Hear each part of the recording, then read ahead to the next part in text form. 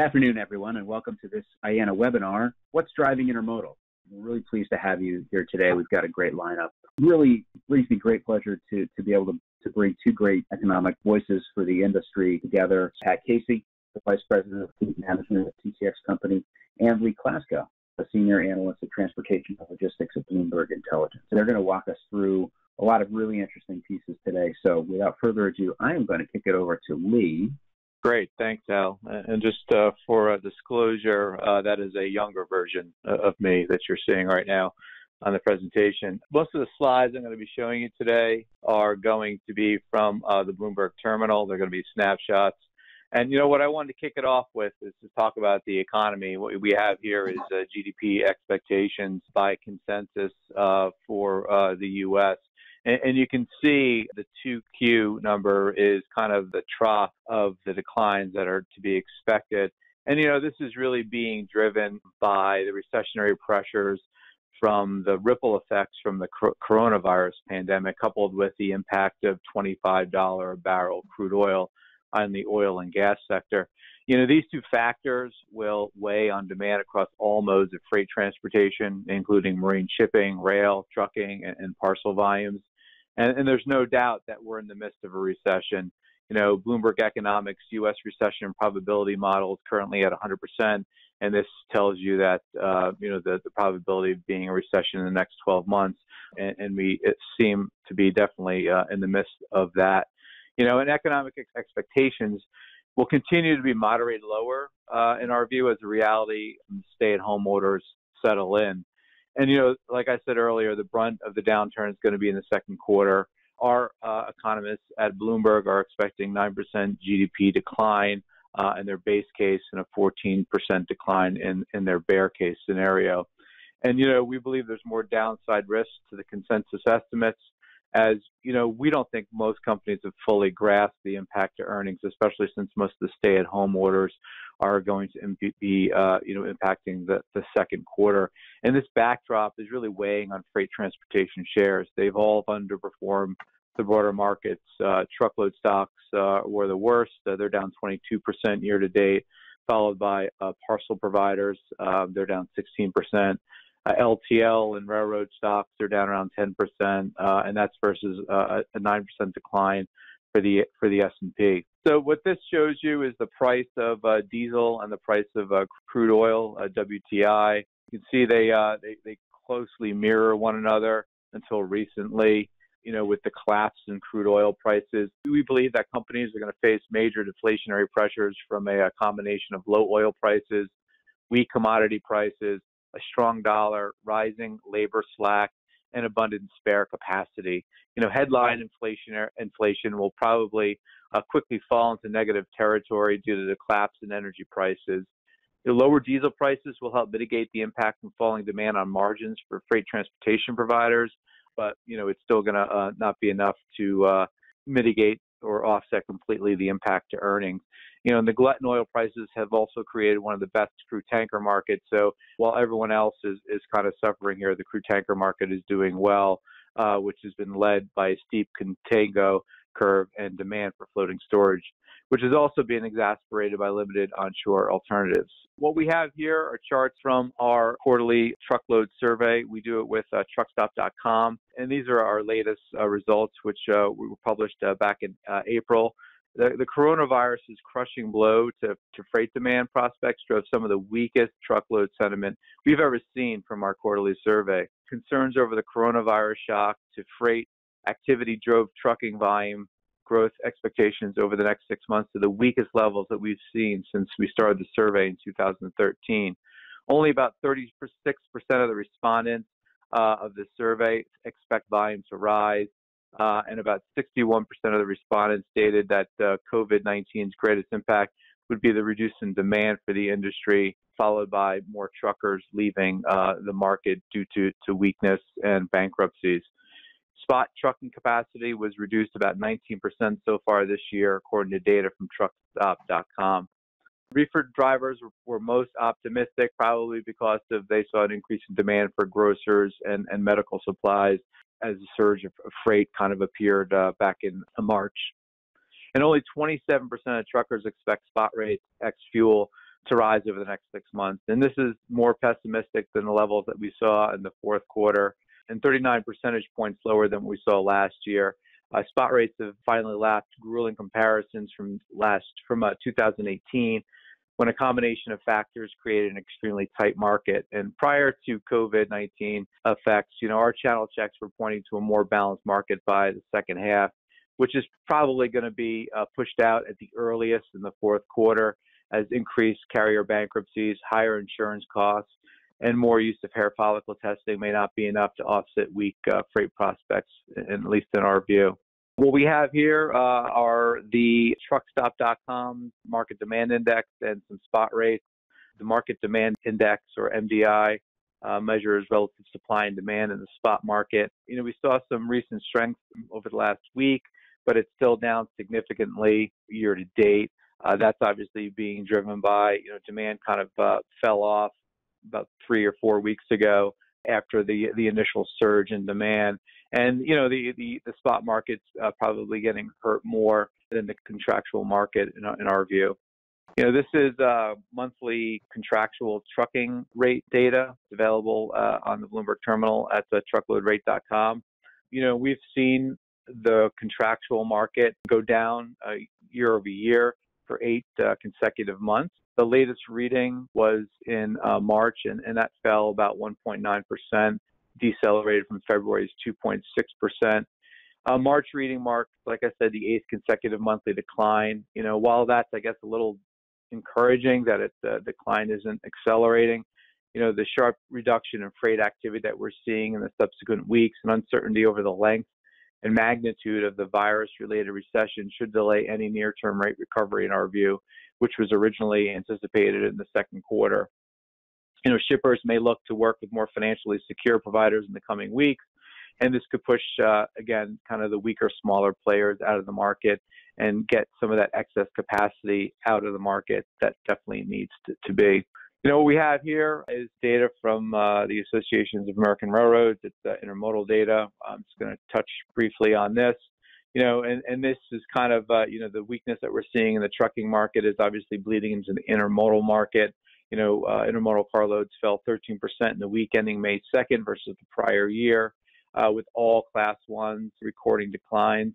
The Canadians, uh, CN and CP, perform better on a relative basis, which we expect could persist as their networks are better positioned to kind of fend off the uh, the softer trucking market and lower fuel prices uh, given their longer lengths of, of haul.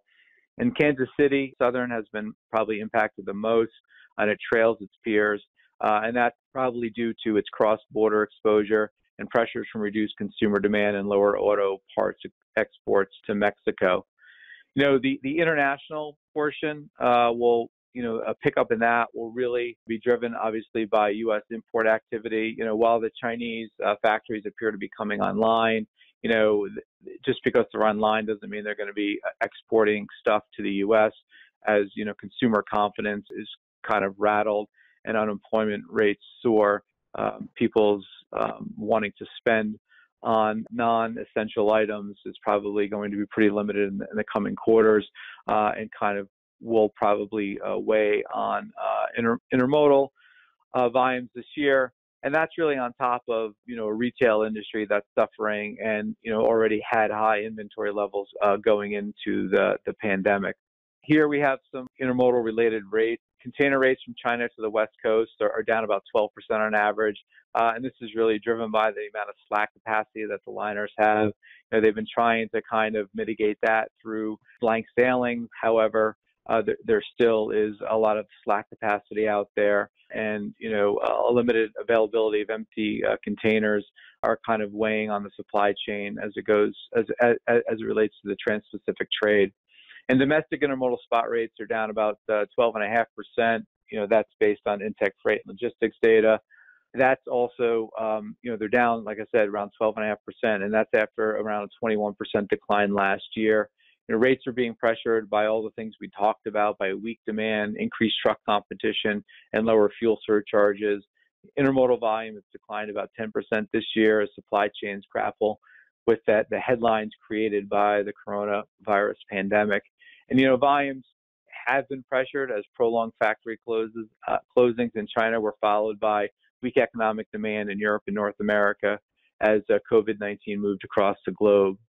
You know, intermodal is uh, is facing increased competition from the slack trucking capacity, uh, a narrower dollar discount, and, and lower fuel surcharges.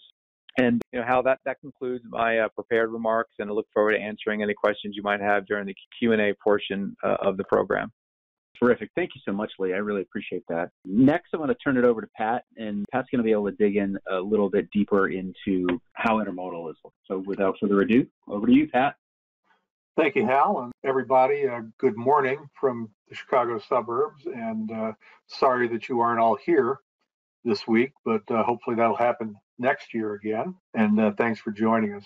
Okay, so we have uh, the intermodal volume from 2019 some of you may have seen this before, but we do want to uh, remind you about what this is. There was negative growth in 2019 before the COVID 19 happened. It was negative for both um, international and domestic loads, and particularly very negative for trailers that are a small share right now of uh, intermodal, but uh, have bounced up and down quite a bit. We'll see where that goes. So, uh, monthly volume. So, we see that uh, container imports were up very slightly in 2019. After that, had grown like three to five percent most of the time. A lot of that was trade tensions with uh, with China over that period of time, and also quite a few of the imports moved from the west coast to the east coast, and a lot, smaller share of those moved by intermodal inland. Less than half of what does on the west coast does so on the east coast. So that does pull things down quite a little bit, and we'll see where that goes.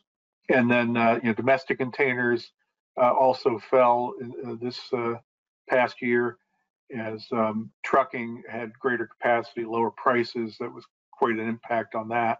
And uh, as many of you may know, significant part of domestic container volume is imports that are transloaded on the West Coast from an international container to a domestic container. And so that too was a factor. And then trailers turned back down after uh, climbing quite a bit in 2017, late 2017, early 2018. Um, and we'll see where that goes over time. You can see for uh, the origin regions that uh, almost all of them were negative in 2019, except for the Mountain Central, which is the smallest one. Uh, everything else was down quite a bit, um, in particular uh, on the uh, on the Southwest, for example, which is one of the biggest parts of it, and the Midwest as well.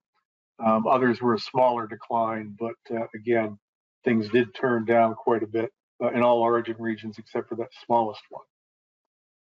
We see the lanes where uh, where the growth happened, um, and much of that growth was to and from U.S. and Canada. And uh, as many of you may know, that the, uh, the, containers that are imported to the Canadian ports, many of that comes into the U.S.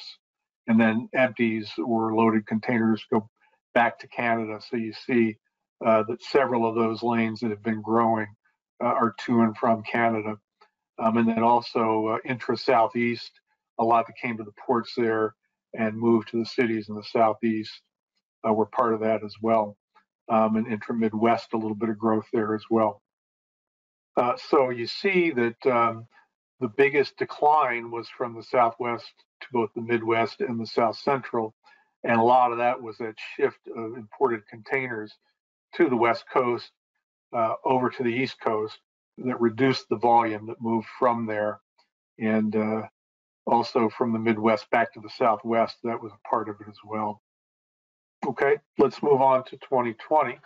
So you see that uh, domestic containers in the first quarter uh, were doing pretty well compared to uh, what they did in 2019, uh, but very negative for uh, trailers and international containers, and total intermodal down quite a bit in uh, in 2020 in the first quarter.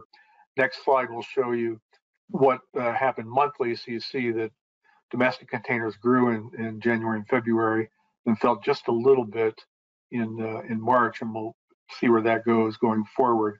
But you see that uh, was quite a turn down in international containers from what happened in January to February, and then down even more to March. And much of that was because of COVID 19, but also still reflected the tariffs uh, that had affected that as well. Also, of course, the share of imports to the US East Coast continued to rise in the first quarter of 2020, and that has an impact on that as well. And then uh, trailer volume fell even more quickly than it did in 2019, and uh, there's some conversions that involve that. So on the next slide, you see that almost all of those origin regions uh, were negative as well in uh, first quarter of 2020. Mexico was uh, again one of the smaller ones, had a significant growth, but uh, a tiny part of total North American intermodal. Uh, almost uh, everything else was down, you know, from five to ten percent for the most part in that first quarter of 2020 from all those regions. Uh, so the next one, you see the lanes where uh, they were negative, and uh, a lot of that was between uh, the West Coast and uh, the Midwest, or the Southwest, and um, I'm sorry, the South Central. And so uh, a lot of that again reflected the huge impact on imports that were part of that as well. And then a little bit of a decline too from the Midwest to Western Canada was part of that. And then we have a few uh, lanes on the next slide that did have some growth, uh, especially within Mexico, as we saw that uh, Mexican volume rose, but very few lanes had any significant increases in the first quarter of 2020. So now we'll talk a little bit more about where things are going for the rest of the year. Um, you can see the Chinese tariffs that started in um, in mid 2018 had trended up quite a bit until the end of uh, last year and down just a little bit in the first quarter of this year.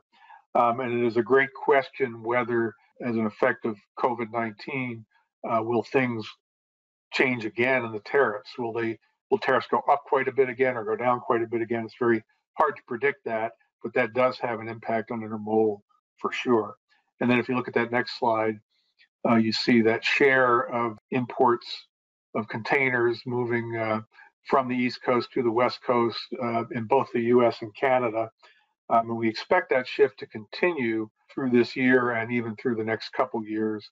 Um, and that too will have an impact on intermodal, and we'll see where that goes. And it's not that there is no, as I said, intermodal that's moved from the East Coast ports inland by intermodal uh, on rail, but uh, it's not as much as from the West Coast.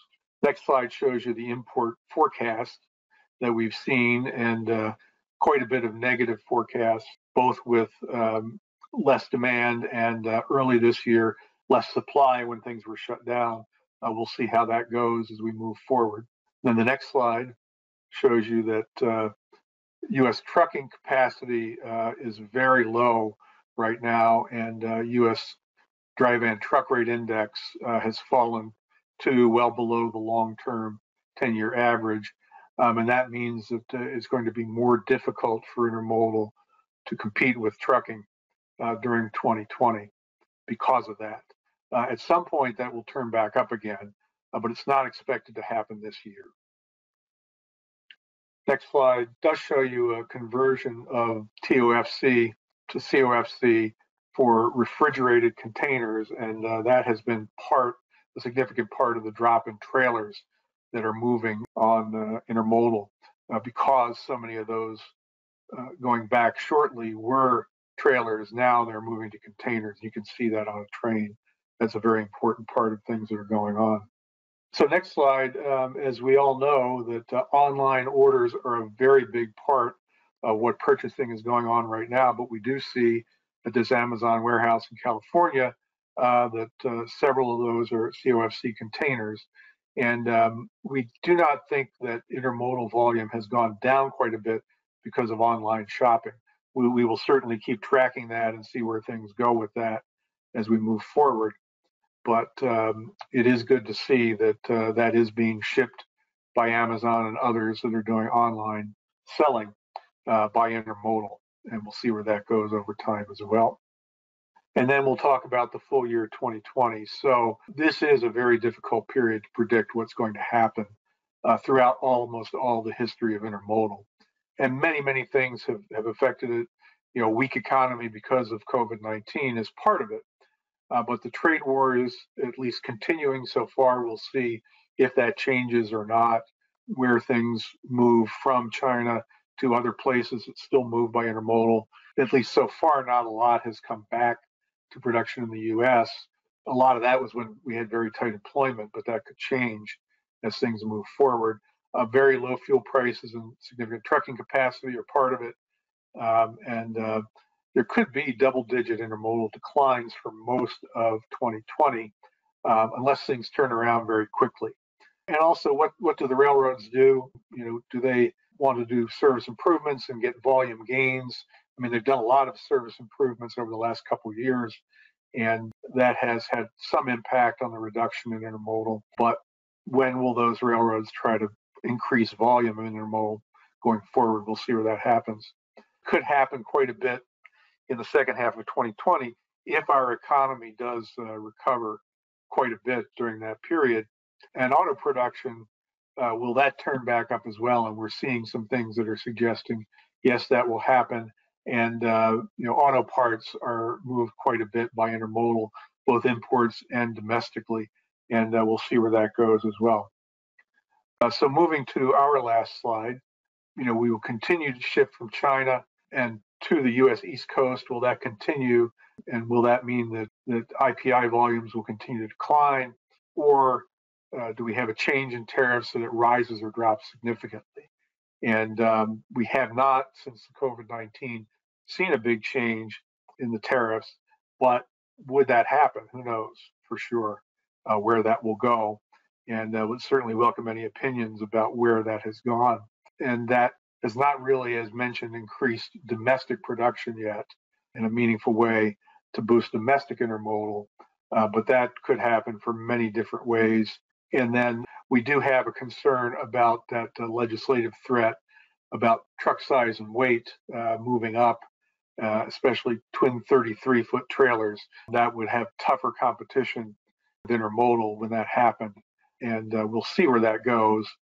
And then uh, you know, as intermodal improves, the trailer loads continue to decline or they turn back around again. And uh, as I've mentioned before, trailer loads in, in recent years have been fairly volatile, uh, but a fairly small share of intermodal.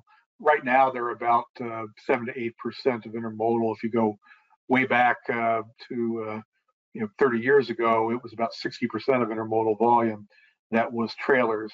Now it's only that, as I said, seven to eight percent. And uh, would that turn back up again, or is it going to be more and more and more share of uh, containers rather than trailers as things move forward? Uh, so that's the last slide I have, and uh, we certainly look forward to the questions that uh, any of you have about this. Thank you so much. Thank you so much, Pat. I really appreciate that. We've heard from uh, two economic experts. We're lucky to actually be joined by a couple of more John Woodcock and Peter Wolf uh, from TTX Company are going to jump in as well now, and we're going to start tackling some of the questions along with Pat and, and Lee. So we'll go right ahead and dive in with one that probably for Lee. Uh, Pat, you touched a little bit on it, but you say we haven't heard quite as much about the trade war with coronavirus taking up most of the conversation. Is there any indication that the taxes on imported goods and other self-inflicted wounds are going to be letting up any time in the future?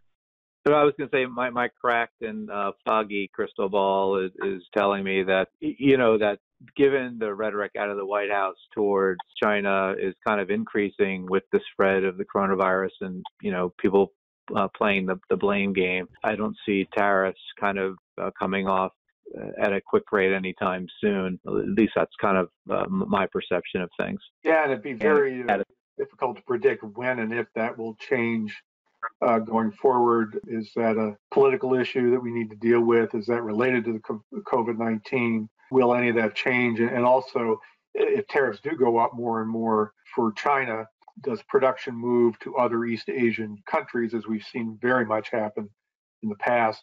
or does any of that production come back to the U.S. now that we have uh, very high unemployment? Could that be different than what it was in recent years? Right. Here's a, here's another one, kind of similarly placed, but going big picture now. With the dramatic downturn in the, that the economy has taken, what does a recovery actually look like? Are we looking at potential of a new normal? So this is Lee, and you know, from from what we gather, I mean, it's definitely not going to be a, a V-shaped recovery you know, probably more of a, a U or a W, if you will, with fits and starts, uh, or, you know, things just getting slowly not as bad as they will be in the second quarter. So that will really depend on the length of the the virus's impact here in the United States. You know, if these all of these stay-at-home orders, if they work, and you know we flatten the curve, uh, and we don't get you know an increase in cases in, in the fall, you know, uh, it, it, it kind of would probably be a best case scenario for for the economy. Yeah, we would agree. There's not going to be that V shift uh, happening anytime soon. Probably not going to. Okay. Here's one a little more domestically oriented. The CARES Act legislation heavily focused on passenger, air, and cargo, the amount going towards rail. Uh, what specific legislation, if any, do you think Congress might implement for trucking and intermodal? Will there potentially be anything further for rail? I would yield the floor on that. The only thing I would say is the rails are, are pretty uh, in, in good shape financially, so uh, they don't really need any financial help. I mean, they're still pretty have pretty solid uh, EBIT margins, uh, even with uh, the decline in uh, in volumes. This is this is John Woodcock. Yeah, um, Hal, I, am not too familiar with with any pending legislation. I think the only thing I would comment on is that the trucking industry was able to relax some of the current regulations that are in place with regard to hours of service and uh, truckload weight. It was done both on a federal and on a state level. But all of the, uh, to my knowledge, all of the um, waivers and relaxation of the regulations were on a temporary basis. And if they haven't expired already, they would be expiring in the next uh, couple of months. Okay, great. Here's one. Uh, do we feel like we've hit the bottom of the shuttered production in China and the blank sailings from China and other Asian ports? Or is there maybe more to come? I think that that may be a little bit hard to say. I think in terms of how the virus has run its course in China, what we hear is the factories have resumed production, but then there's weak demand in, in the US. So it's really hard to say where that's necessarily going to run or whether it is as China uh, reopens uh, its cities and places where it's been really hard hit, is the virus going to return? but I think it's it's fair to say, at least as of this particular moment, production is is up and running in China to the extent that there's demand for the goods to be produced. Here's a quick one. What guesses uh, do y'all have on when consumer confidence might start gaining momentum again? I, I mean, this is a league, and it, and you know, it's really all to be based on unemployment. You know, when you have uh, double-digit unemployment rates, you know, people aren't um, going to want to go out and, you know, buy anything that's not essential. You know, even discretionary spending like the auto, like to buy a car, you know, while like production, you know, we might be hearing production might be coming back. The, the bigger question is who's going to be buying these cars if, you know, 20% of the people are, are out of work. And even if you do need a car, you might, you know, probably get a, a better deal in the used market. So the automotive industry is extremely important to the U.S. economy, but you know I don't see that coming back uh, anytime quickly. I think that's going to be you know a slow kind of turn on because of the fact that uh, you know consumers aren't going to have this huge appetite. You know, the consumer confidence uh, numbers will improve as unemployment uh, rates go down and as people get back to work and things normalize. You know, right now uh, there's nothing normal about you know what we're all doing. We're all doing a webinar from our own houses, as opposed yeah. to being all together in Chicago. Um, so everything is you know this is this is this is not normal, and this is you know kind of shatters consumers uh, to their core, in, in, in, in my view. Yes, and we would agree with what uh, Lee had said about that. It's very important for people to get their jobs back before anything happens. Can you expand on the shift in import volumes to the East Coast? Uh, are the reasons tied to the operations costs on the West Coast, or is there a fundamental shift in the international trade routes, and is it expected to continue? It may be more of a fundamental shift than anything else, but how long that fundamental shift remains in place is questionable. So that may mean it's not a fundamental shift. So I know that's a very confusing answer, but it seems that tariffs have pushed a lot of manufacturing away from China. And as Pat alluded to earlier, we really don't know where tariffs are going to go. Are they going to increase? Are they going to decrease? And if they go away, then maybe that means this uh, shift that we've seen away from China to production in other parts of the world, particularly South and East Asia, where there's a more, uh, it's a shorter distance to come to the US East Coast than to the West Coast. If that changes in production returns or increases in China and more goods now come back to the West Coast, we could see growth in the West Coast uh, to a greater extent down the road when, when the economy recovers. So, uh, like a lot of things going on right now, it's a little bit up in the air, but I don't think it has anything to do with uh, necessarily costs at, at, East Coast ports or West Coast ports. I think it has to do with uh, tariffs and uh, moving production away from from China. Uh, so we'll have to see where, where that goes. I think in to throw a few numbers at it, I think last year, looking at the PIERS data, imports from China fell almost 12 percent I think the number was about 11.7%.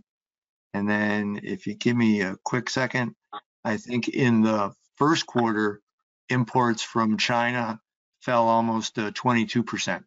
Uh, and that's a combination of production really declining in China, and, and particularly in, in, late February and March with uh, COVID, um, as well as perhaps some share shift uh, to other places in, in Asia.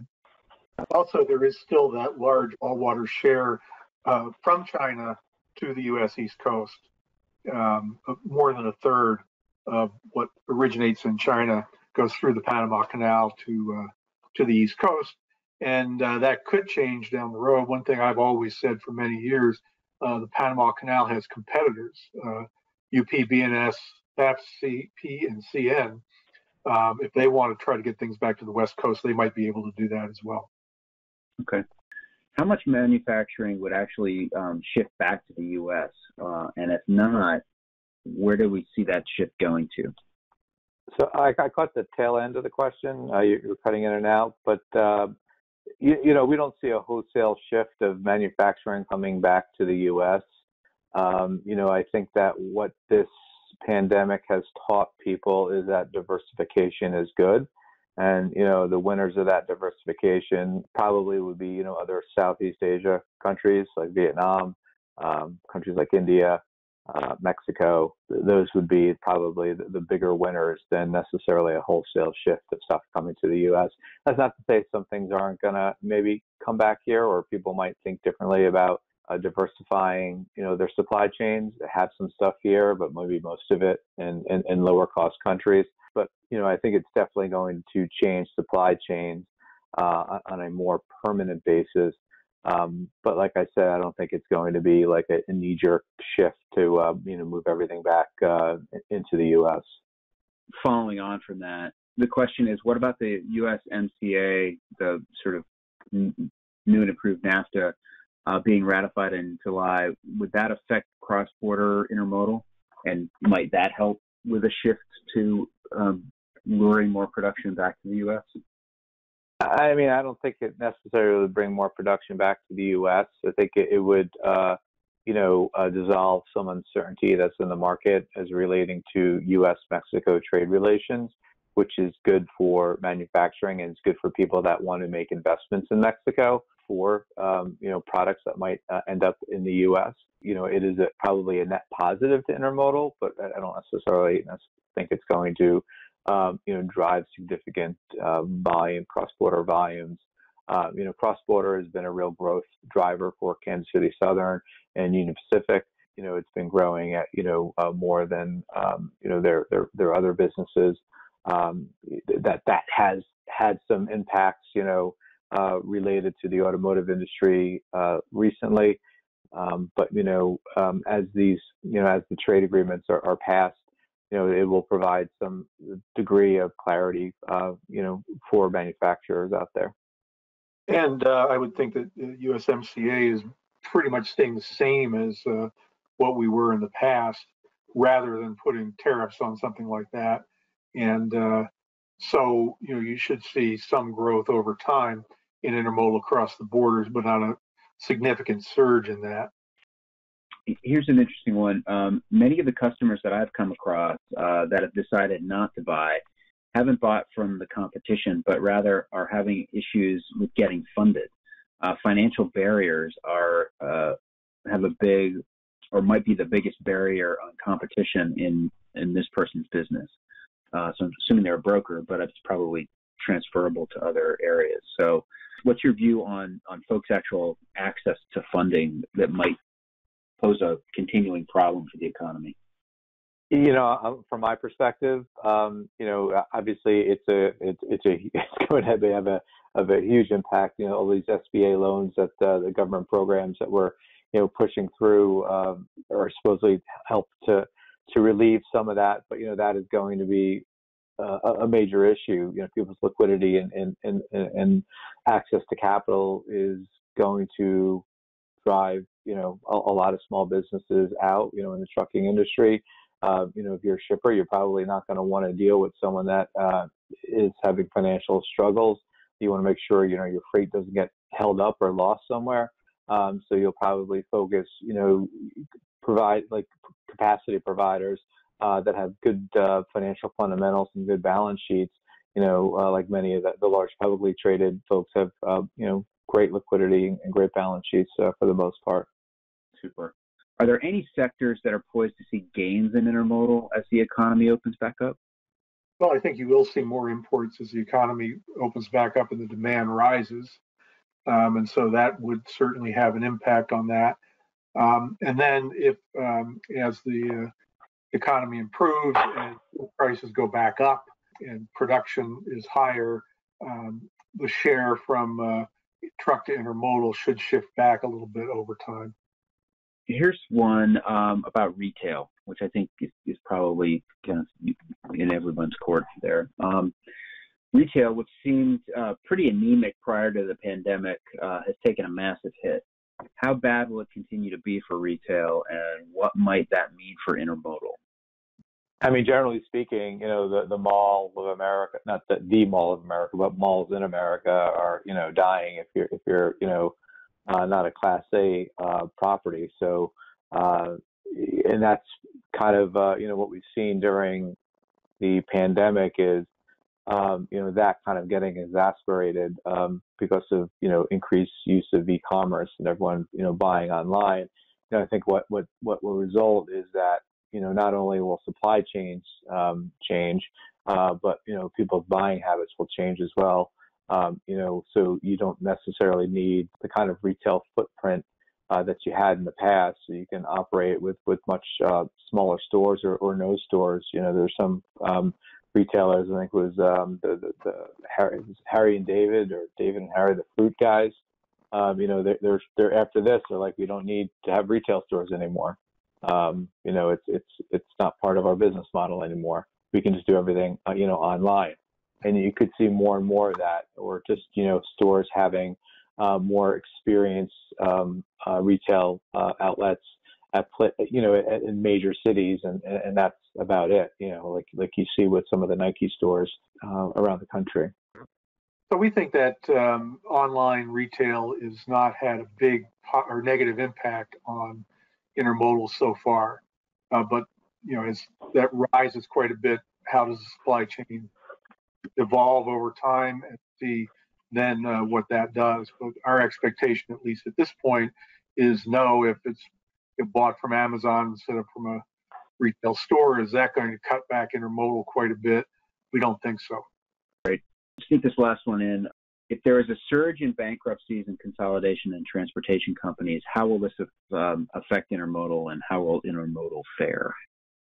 I mean, I mean, this is uh, this is Lee, and, and from my perspective, you know, the bankruptcies are probably going to be more prevalent um, with maybe smaller brokers or smaller trucking companies, you know, not necessarily on the rail side. And so, you know, if more and more trucking capacity comes out of the market and demand snaps back eventually, uh, you know, you could see an increase in rates, um, which have been, you know, really hampered over the last, uh, call it 18 months. Um, you know, we've seen that weakness. So uh, maybe we can get more normalized rates. So, uh, you know, obviously trucking rates are, are more expensive. Intermodal is probably going to get more expensive as well, uh, and put positive uh, pressures uh, on on intermodal rates uh, also. And um, you know, and then and that just is another opportunity for intermodal to, to I guess, win share uh, against trucking if there's going to be less trucking capacity out there. Uh, but on the flip side of that, you know, it, it trucking has very low barriers to entry. So, you know, once rates become quote unquote attractive for people, um, you know, they can go and, and, and maybe lease a used vehicle or, you know, buy a used truck and get back into the market with uh, the technology that's out there with uh, you know a lot of the online brokers that are providing you know mobile technology, uh, you can kind of uh, compete more with with the larger carriers, at least in, in a positive uh, freight environment or rate environment. Excuse me. Yes, certainly is there any automation in the trucking industry uh, coming anytime soon? Um, not sure about that, uh, but that could have an impact as well on where things go and how would intermodal automate as well uh, to compete with that. So that's something that is not tomorrow. It's not something as soon as the COVID 19 goes away, but uh, it is something to consider down the road. Alex, John, if I could jump in and add a little bit too, the uh, the introduction of the um, uh, the North America, or I should say, the U.S. Drug Clearinghouse um, database by the FMCSA in 2020 uh, came with it an expectation that uh, there would be lower driver turnover uh, because every time a driver goes to a new carrier, they have to be drug tested, and uh, any positive results that come from that have to be registered in the drug database. So, uh, and they were thinking that drivers are going to stay put ra- rather than risk getting a positive drug test. And so, increased churn through bankruptcy may actually force in, increased churn and uh, drivers applying an increased incidence of, of, of positive drug tests, possibly pulling down some of the driver, the available driver population. That makes sense and is, is good insight to kind of round that out. Well, I wish we could keep going, but we're uh, we're out of time. Um, I'd like to thank Pat and Lee for the great presentations. Uh, Peter and John, thank you for coming in and helping out with the Q and A. Um, very much appreciate it. I'd like to uh, just let people know that if they're interested in digging deeper into those the data, a lot of which uh, fueled uh, things that, that Lee and Pat uh, both talked about, the IANA data set, uh, the ETSO database is, is available, uh, as well as um, our new volume analyzer, which is a sort of easy way to take a take a look at the data. those are both available if you just go to intermodal.org um, for data products. Uh, they're available there. Uh, you can also just email us at info at intermodal.org and we'll get back to you uh, with any information.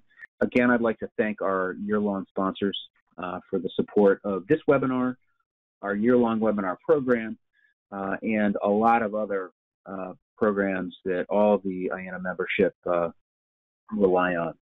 it's, a, it's a great service that they do, and we really appreciate the support, and we know that uh, all of the, the members uh, appreciate all the, the work that they do to, uh, to, to help us out. And with that, I will bid you all a good afternoon and be safe.